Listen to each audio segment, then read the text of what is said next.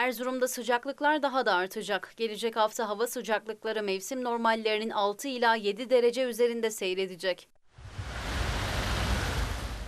Türkiye'de hava sıcaklıkları rekor kırıyor. Yaz aylarındaki serinliğiyle bilinen Erzurum'da bile sıcaklıklar bunaltıcı boyuta ulaştı.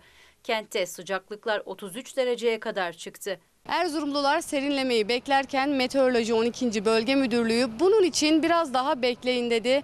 Yayımlanan hava tahmin raporuna göre sıcaklıklar önümüzdeki hafta bölge genelinde mevsim normallerinin üzerinde seyredecek. Tahminlere göre Erzurum'da termometreler 35 dereceye kadar çıkacak. Erzincan 39, Bayburt 37, Ardahansa 32 dereceyi görecek.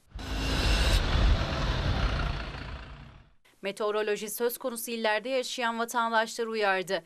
Kronik rahatsızlığı olanlar, yaşlılar ve çocukların özellikle 11-16 saatleri arasında güneş çarpmasına karşı dikkatli ve tedbirli olmaları istendi.